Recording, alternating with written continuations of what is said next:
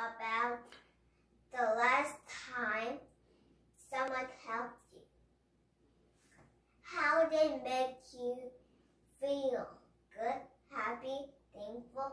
Okay, you can open your eyes.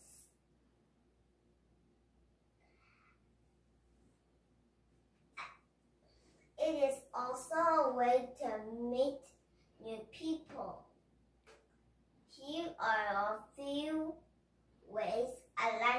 Help people. Raise money for other people.